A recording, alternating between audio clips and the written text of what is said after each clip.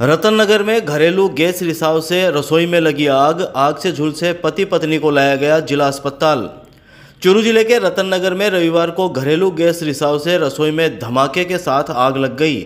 आग से पति पत्नी झुलस गए और रसोई क्षतिग्रस्त हो गई। पति पत्नी को उनके पड़ोसी राजकीय भर्ती अस्पताल के आपातकालीन वार्ड लेकर पहुँचे। अस्पताल में दोनों को प्राथमिक उपचार के बाद छुट्टी दे दी गई है। सूचना के बाद अस्पताल चौकी पुलिस ने मामले की जानकारी जुटाई। जानकारी के मुताबिक रतन नगर के वार्ड सात में रहने वाली कांता रसोई में चाय बनाने के लिए गई थी। जैसे ही उसने लाइटर जलाया, आग भभक गई। कांता को बचाने के लिए उसका पति नानूराम भी रसोई में चला गया।